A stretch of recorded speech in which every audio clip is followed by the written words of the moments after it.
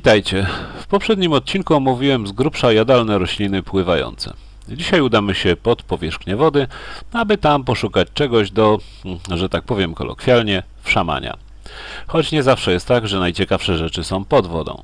Czasem roślina rośnie sobie pod wodą i wcale nie nadaje się do jedzenia, aż tu nagle, zupełnie niespodziewanie dla wędkarzy, rybaków i półślepego aligatora wacusia, wyłazi z wody i, i już wiadomo, że to się da jeść. Do jakiej rośliny nawiązuje? Do limnofilii aromatiki, bo to właśnie ona, wypuszczając część nadwodną i zakwitając, nadaje się do jedzenia. E, to podobno przez nią Amerykanie przegrali z Wietkongiem. Spróbowali kiedyś zupę Kang Chua, zastaną na pozycji wroga zajętej przez kompanię Foresta Gampa i wymiękli. Kang Chua to taki wietnamski, łagodniejszy odpowiednik tajskiej zupy Tom Jam, która podobno przechodzi przez jelita nie zakręcając. Limnofilii aromatiki używa się jako przyprawy i jako ozdoby dań. Przeważnie dzieje się to w Wietnamie. Kwiaty i młode liście nadwodnej części limnofilii mają charakterystyczny zapach przypominający zapach cytryny. I właśnie młode liście dodaje się do wcześniej wymienionej zupy. Młode liście drobno się sieka i dodaje na surowo. Często też liśćmi przyozdabia się wiele południowo-wietnamskich potraw. Zupa kanchua to zupa rybna, a limnofilię uprawia się na zalewowych polach ryżowych. Innych gatunków limnofilii też używa się jako przypraw w kuchni jawajskiej, ale tylko aromatika jest cytrynowa, reszta ma zapach anyszku. Dobra, kolejna roślina z Azji. Proponuję panom, żeby przysłuchiwali się uważniej. A tą rośliną jest, a tą rośliną jest hydrokotyle, czyli po naszemu wąkrota. Niestety, odmiana, o której chcę powiedzieć, chyba nie jest częstym gościem zbiorników, a chodzi o Hydrocotyle asiatica minor. Na Sri Lance spożywa się świeże liście jak zwykłą jarzynę, natomiast w Chinach świeże liście tej rośliny uznawane są za eliksiry długowieczności. Podobno chiński zielarz Chung Jun przeżył dzięki niej 256 lat, zmieniając w tym czasie 24 żony. Ostatnia żona była pod ogromnym wrażeniem jego możliwości seksualnych. Z hydrokotyle robi się więc w Chinach pigułki i sprzedaje pod nazwą Fotin Tieng, co oznacza eliksir długiego życia. Znany francuski biochemik, nie wiem czy dobrze wymówię, Jules Lepy, odkrył, że liście i nasiona tej rośliny zawierają alkaloid, który odmładza, doskonale wpływa na układ nerwowy i gruczoły hormonalne.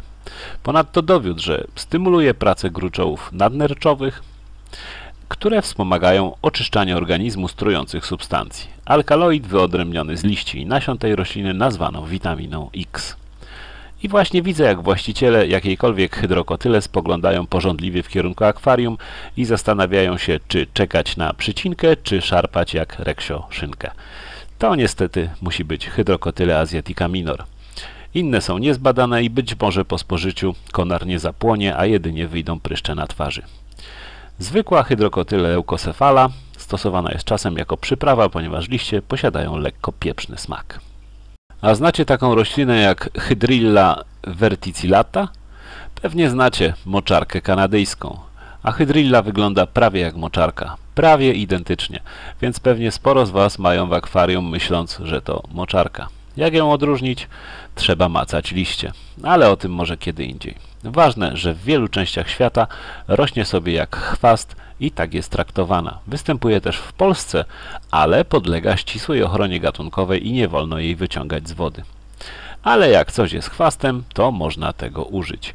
I Amerykanie używają hydrilli jako jeden ze składników suplementu diety pod nazwą Vita One. Ciekawą rośliną jest też bakopa. Tak, ta często spotykana w akwariach bakopa.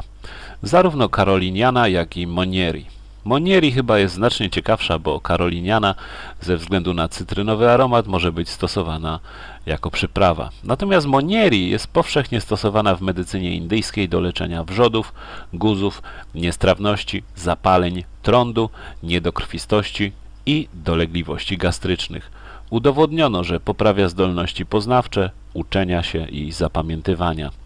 Oprócz tego jest przydatna w leczeniu Alzheimera i choroby Parkinsona.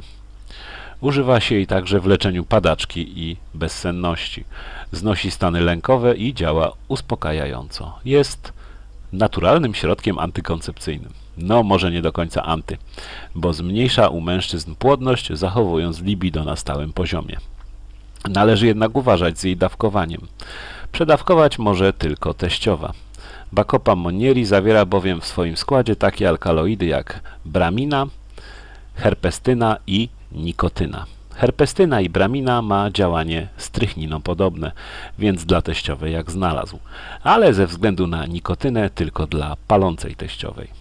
Żeby jednak nie zostawić jej koleżanki, czyli bakopy karoliniany samej i smutnej w kąciku, powiem, że naukowcy z Tajwanu wprowadzili nanocząsteczki złota do liści bakopy karoliniany i stworzyli z niej roślinę emitującą światło. Podczas badań okazało się, iż obecność nanocząsteczek złota zmienia właściwości luminescencyjne komórek roślinnych, które zaczynają świecić czerwonym światłem. Według naukowców tego typu zjawisko po odpowiedniej optymalizacji może być w przyszłości użyte do konstrukcji biologicznego oświetlenia ulic, czyli świecących drzew. Jak latarnia zgaśnie, to znak, że znowu ktoś jej nie podlał. Ostatnia roślina, o której chcę wspomnieć, to lotos, ale prawdziwych lotosów raczej się w akwarium nie uświadczy. Te, które uprawiamy, to grzybienie z rodziny grzybieniowatych, a lotosy należą do lotosowatych. Skomplikowane? Niespecjalnie. Przyjmijmy, że te, które uprawiamy, to lotosy tylko z nazwy, bo podobne i bo tak łatwiej o nich rozmawiać. Grążele powinny się Wam spodobać i to nie tylko z wyglądu. Nie będę wymieniał konkretnych nazw roślin, ale generalnie z kwiatów niektórych grążeli robi się nalewki o działaniu uspokajająco-nasennym. Wyizolowane z kwiatów steroidy działają też przeciwcukrzycowo. Grzybień stosowany jest też w łagodzeniu stanów zapalnych, w zaburzeniach czynności wątroby, nerek i dróg moczowych. Jeśli chodzi o konsumpcję, to tutaj trzeba uważać. W kuchni azjatyckiej zjada się kwiaty grążeli, ale nie na surowo po wcześniejszym obgotowaniu. Dlaczego? Ponieważ kwiaty zawierają sporo alkaloidów, innymi nufarynę wpływającą na korę mózgową i nimfalinę wpływającą na pracę serca i naczyń krwionośnych. W kilku gatunkach stwierdzono też nucyferynę, rozpuszczalną w alkoholu substancję psychoaktywną, aporfinę, analogiczną do apomorfiny stosowanej w zaburzeniach erekcji oraz dezoksynufarydynę. W Egipcie pito suszone płatki kwiatów w postaci herbaty. Stosowano je jako przyprawę albo żeby lepiej przyswoić, łączono z winem. Liście i kwiaty niektórych grążeli mogą mieć właściwości narkotyczne, kilku właściwości współczesnej wiagry, a po kilku mogą spuchnąć nogi w kostkach. Ja tam nie wiem, ja się nie znam, ode mnie się tego nie dowiedzieliście. I na tym kończę część drugą marudzenia o jadalności i przydatności niektórych roślin akwariowych. Być może będzie trzecia część. Wszystko zależy, kiedy mi lotos zakwitnie. To do następnego filmu.